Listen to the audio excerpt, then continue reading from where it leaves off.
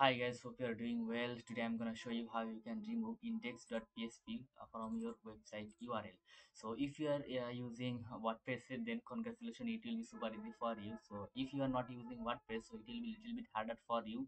So if your website controlled by cPanel, then you can do it via edit your htaccess file. So I already made a video based on WordPress. So check uh, the video description or I button. You will get this video. So you uh, by this video you will solve uh, your WordPress uh, website. Uh, but uh, in this tutorial, I'm to show you how you can fix this issue using cPanel.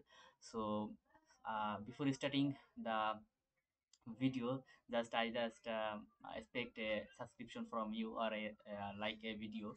So just uh, that's it, and uh, let's go. So first of all, you need to log in your cPanel account. Then go to File Manager.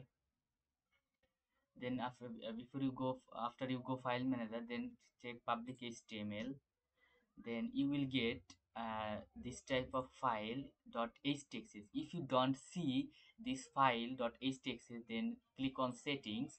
Then just uh, uh, tick it show hidden files then save it. Then you will see this file. So click right click on it then edit. Then edit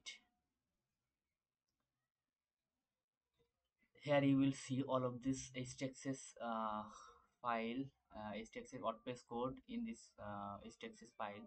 So what you have to do you have to do uh, just copy the code and paste it from uh, in here.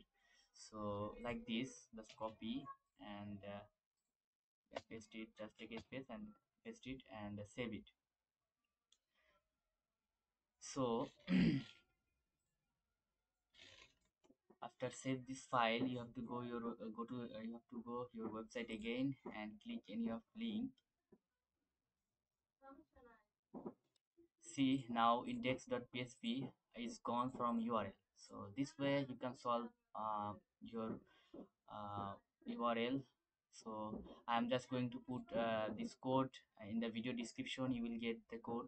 So if you uh, really like this video just please subscribe my channel and uh, press uh, like and uh, today that that's it for today. Thank you so much for watching the video